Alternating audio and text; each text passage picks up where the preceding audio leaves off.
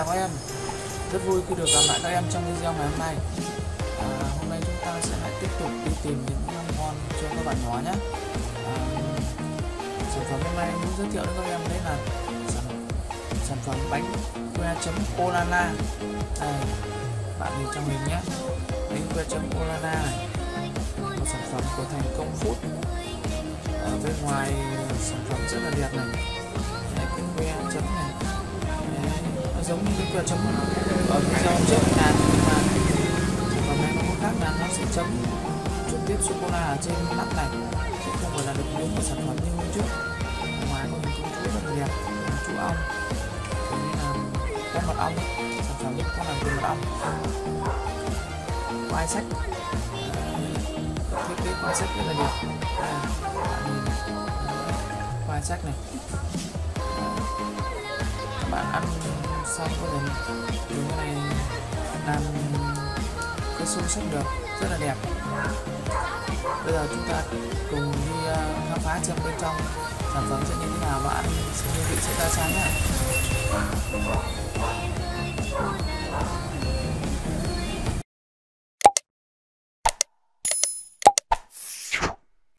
rồi giờ đầu tiên anh sẽ tháo cái khoai này ra. Ra này ra để nhấc được cái nắp này ra nhé nắp này rất là chặt các bạn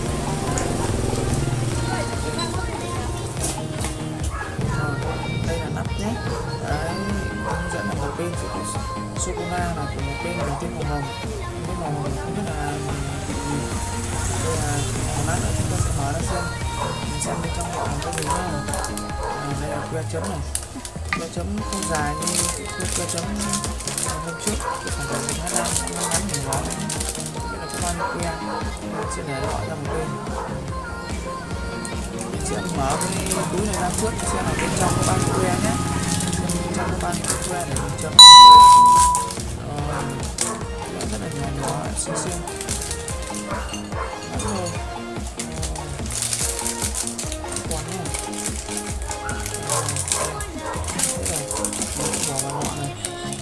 hàng vườn xích quặn ra đây còn que ra đây mình cùng đếm xem là có bao nhiêu que nhé một hai ba bốn năm sáu bảy tám chín mười mười một mười hai mười hai cơ rưỡi Ờ, một, túi phóng rất là hay. 12 cơ rưỡi nha các bạn.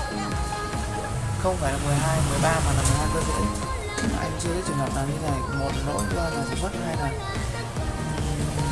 người ta cố tình lượng nên anh nghĩ là chắc đây là do lỗi. Bây giờ chúng ta cùng bóc xem là cái nắp này là bên trong có gì nhé. Đây cái chỗ người ta làm dài dài để mình cầm tay mình bóc. Chắc chắn bóc bóc cái này mình không sợ bị hỏng mùi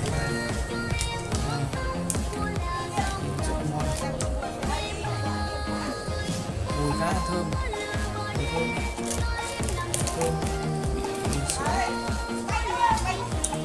cái nắp sô cô la này anh nghĩ là hơi cứng nhé không biết là mình sẽ chấm như thế nào rồi thử lấy que chấm như thế nào anh mở ra thì không thấy nó dạng sệt dễ chấm. Còn đây là nó dạng hơi cứng thì không biết mình chấm lại que nó sẽ như nào. Sẽ chủ yếu chấm que bạn thử xem như nào nhé mình ăn cái màu trắng trước này. À đúng thật các bạn khả năng là do thời tiết này hơi lạnh lạnh nên không chấn lại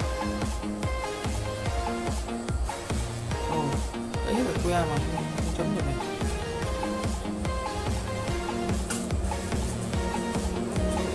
Cố chấm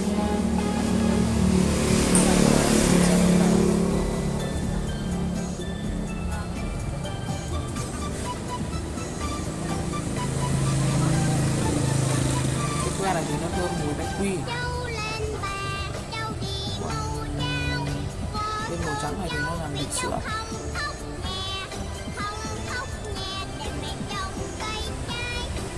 ăn cũng khá là hoàn thiện nhưng mà một điều là que là không được giòn. Không giòn như cái que tiếp đi ở trong video trước nào nó mềm mềm, yếu yếu. Mà cái sô cô la này nó cũng cứng ôi trời. Gãy luôn sô cô la này nó bị cứng. Cứng thì sẽ quá chấn. Chấn được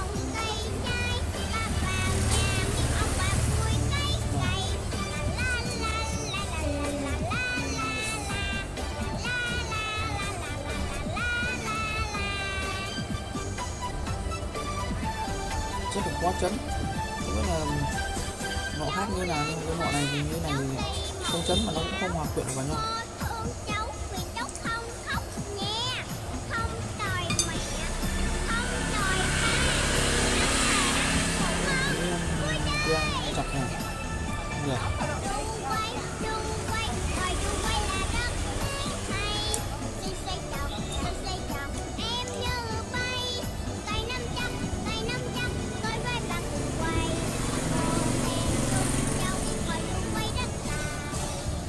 Hương vị thì khá là ổn.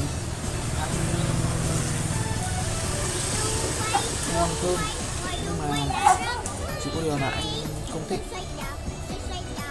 Ăn cái sản phẩm này là cái sô cô la này nó không được được mềm nó phải là, nó phải là dạng sệt thì cái que này mình chấm vào nó mới được. Thì cái que này, người ta làm không không giòn, không cứng mà người ta làm mềm yếu này chấm sẽ rất dễ bị gãy. Rất khó cho các bạn nhỏ ăn. Nhưng mà hương vị thì ngon. Sau đây là phần giải quyết cái bánh này của anh.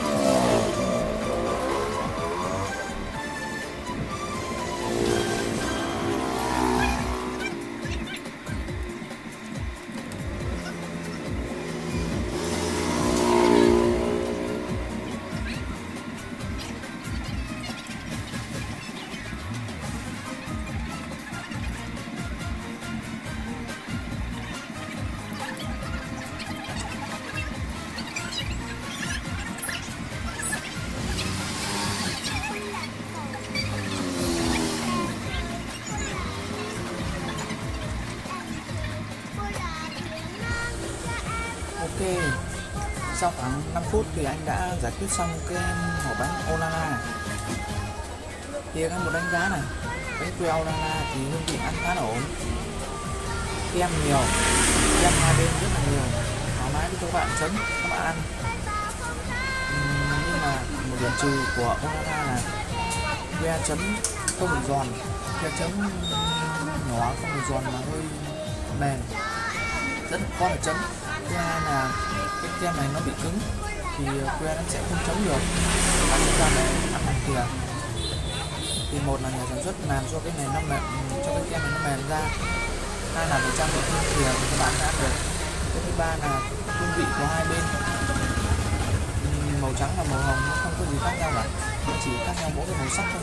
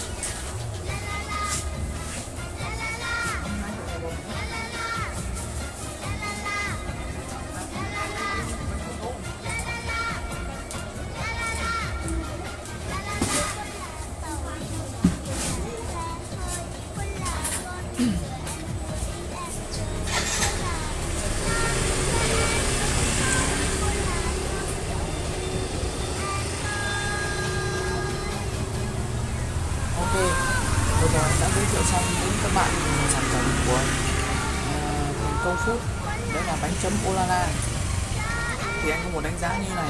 Bánh chấm Olana hương vị ăn rất là ngon. Ờ, kem với lại bánh hòa quyện với nhau rất là thơm. Thế nhưng mà ừ, có một điểm trừ là que chấm hơi nhỏ và không được cứng. Nó bị mềm. Ừ, chấm sẽ rất là khó dễ bị gãy. Thứ hai là kem nó bị cứng. Nếu như là kem nó mềm thì chấm sẽ rất là kem bị cứng thì các bạn không chấm được, dễ bị gãy que. Nhưng nếu mà muốn ăn thì các bạn nên trang bị thêm thìa. Để dễ ăn hơn. Hương vị của kem thì ờ, dù mặc dù là phân là làm hai bên, nhưng mà không có gì khác nhau nhé. Nó chỉ khác nhau màu sắc thôi. Bạn thích chấm màu gì thì các bạn chấm còn ăn màu nào thì ăn. Ờ, đánh giá của anh đến đây là hết. Rất vui khi các em ờ, theo dõi video của anh. Nhớ like và share đăng ký kênh của anh để tiếp tục xem ờ, xem những video sau của anh. Xem uh, anh có những món ăn nào giới thiệu cho các bạn nhé. Xin chào và hẹn gặp lại các bạn. Bye bye.